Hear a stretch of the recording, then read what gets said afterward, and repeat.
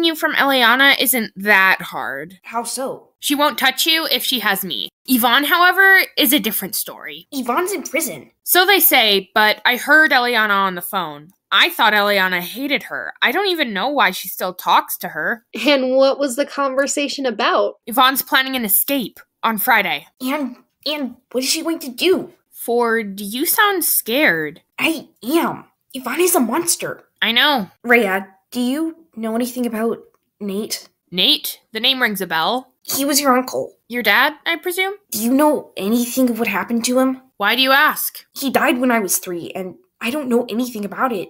It would help if someone told me. Rose should stop keeping you in the dark. He used to talk to Yvonne a lot. Him and some other guy did. Other guy? His best friend, I think. I can't remember his name. Did they get on well? Pretty well, if you ask me, but neither of them liked Yvonne. There was something about her. I was only six at the time, didn't really understand. Did you hear anything of his death? Nate and that guy went to the bar, I think. Never saw them again. I think Yvonne followed them. Or maybe she was just going out too. Wouldn't know. She seemed to be up to something. Really? You don't believe me? I didn't mean that. This is just helpful information. Thanks. Missing Ford already? Well, yes. I see him a lot. It's always hard to adapt when he's doing a lot. I miss you. What? Wait, what did I just say? No, I said absolutely nothing. Of course not. You said you miss me? No, no, I, I didn't say. I'm gonna leave. Sabrina, wait up! I love. But she's already left. When will I finally get to confess the truth? When will she listen to me? Freddie! And for once, you actually approach me. You know I mentioned Louisiana? Yes? She's evil, I swear. It even seems like she's planned to hurt someone. Isn't that far fetched? She set a car on fire. Obviously, she's capable of hurting someone. And who do you think she's going to hurt? That I must find out. See, even you don't know. When will you stop criticizing every single decision I make? When will you learn about making mistakes? Firstly, talking to Ford wasn't a mistake. Secondly, I didn't choose to talk to Louisiana, she approached me. Thirdly, what I do is my business, and that does not automatically make it your business. Admit it, you need my help. I'll admit this I don't need your help. Lily. It's Lilliana to you. I'm heading to class. If you want to bunk off class, that's your choice. Please, I didn't. Like you said earlier, see you tonight. Lilliana storms away from her brother. I just did something stupid. What did you do? I told Johnny I missed him, then I took back what I said and ran off. If you do love him, that's kind of a dumb thing to do. Not going to lie. I hate myself. No, no, don't say that. I'm sure it's repairable. Make that cake, go back to Johnny's house, and give it to him. It will cheer him up. Are you sure it won't just make him more mad? Why would it? Does he like cake? Who doesn't? It's this one, I think. Dana rings the doorbell, nervously biting her lip. Dana? Hey! Yes, it's me. Lucky you came round on my day off. I'm a teacher now. Sounds boring. Come inside. Good to see you again. Livie hasn't been answering any of my calls or texts. It's like I never did exist and never will do. Livie is Livie, put it that way. She does things her own way. Honestly, I believe that. She was the same when we were close. You two used to play together a lot. It was fun. We both enjoyed it. At least, I thought she did. I'm sure she did. She was just going through a lot. Lewis said that too. Told me she was struggling. Things have changed a lot, honestly. I can see.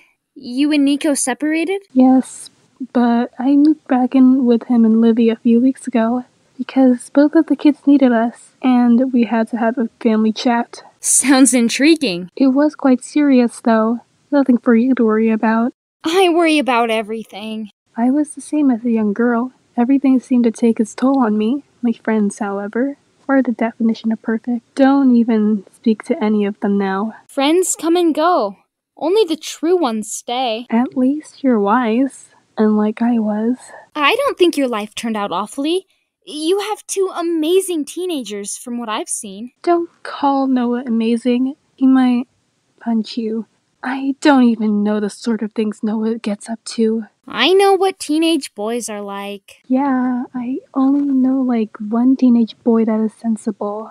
Surprising that you do know one. He knows my daughter. I wouldn't call them friends, more a friend of a friend. That sounds awkward. I don't think it's awkward. Johnny only really wants to talk to his best friend Ford, and Livie and Johnny are more of acquaintances than friends. But Ford and Livie are best friends, so it's sort of like a mutual friend, in my opinion. I was told about Livie's best friend. Is he nice? He's awesome, honestly. He cares about Livie a lot. Is he sensible? You mentioned you only know one sensible boy. He is. He's just not a teenager yet. I'm glad Livie's happy though. She is. But more than anything, I think she wants me and Nico to get back together. Her divorced parents are living together. What do you expect? It'll never happen. Why not? Nico's in love again. You still love him, don't you? I made it too obvious, didn't I? Yes. I do still love him, but it's too late now. If you still love him, then you have to put up a fight. You can't just let him go. He'll choose what's right for him, but if you don't try, he'll automatically choose the other person. If you love him, then you have to do something. Are you sure? You can sit back and let everything fall into place, but you'll regret it. You seem to know a lot. Don't ask why. I won't then. I'm home. Hey, Livie left? Yeah, she went home. Seemed annoyed. Annoyed? Annoyed I was talking to another girl. She either has a crush on me, is jealous of me, or both. I wouldn't be surprised. And what do you mean by another girl? Eliana's sister. She was so helpful. She has a sister? Rayalynn. She's nice. Eliana was manipulating her as well. Why is she so controlling? When she has Yvonne as a mother, I wouldn't ask. Good point. I won't ask her then. And Rayalynn told me something bad. What did she say? That Yvonne was planning to escape on Friday. Oh no. Are you okay? At the moment, yes. But her main target is me. I wouldn't be surprised if she shows up at our house and tries to run me over. It's what she does best.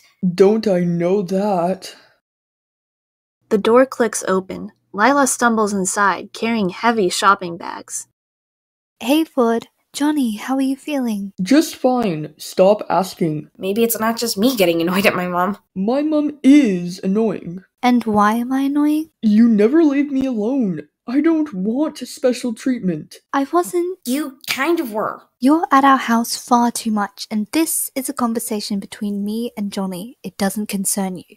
Don't speak to Ford like that ever again. It's fine. I was just leaving. No, you weren't. The only way I can see you is by coming here. Clearly, she doesn't want me seeing you. Ford, I didn't mean. Yes, you did. No, I. Please, Lilah, you know what I meant. The only person who seems to want me around is Johnny, and I don't even know why I try anymore.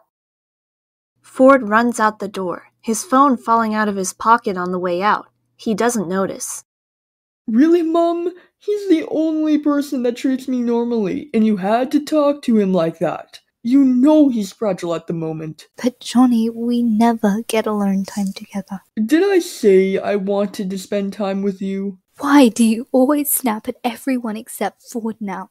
It's like you're a different person now. Ford said the exact opposite. I'm your mother, Johnny, not your best friend. At least my best friend doesn't judge me and treat me like some special case, unlike you, Cara, and everyone else who drops by. Johnny, I'm. Just leave me alone, and Ford will be back later, so just leave his phone on the table.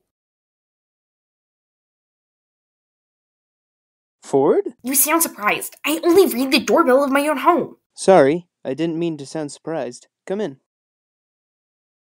Not with Johnny? Let's just say his mother didn't want me around anymore, so I ran off. And for the final time, Mom, I did not set your car on fire. I tried to tell her, though. Sounded like a dangerous joke someone had played. Someone has it out for me, and I don't know who. But it feels like you, Mom, and Lilah, and Louisiana, and everyone else has it out for me. Well, I'm sick of it. I don't want to be blamed for everything that goes wrong anymore.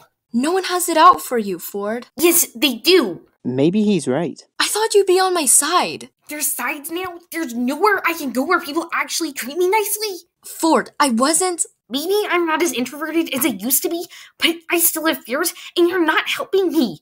I used to look up to you. Right now, Johnny, Olivia, and Nico are the only people I can look up to. Ford, What? how about I take you out to the cafe for a little while? Just us two. Help you calm down? First of all, I don't need calming down. Second of all, that would be kind of nice. Let's go in now. We'll be fine, Rose. Don't worry. Fine, do what you want. Don't mind me.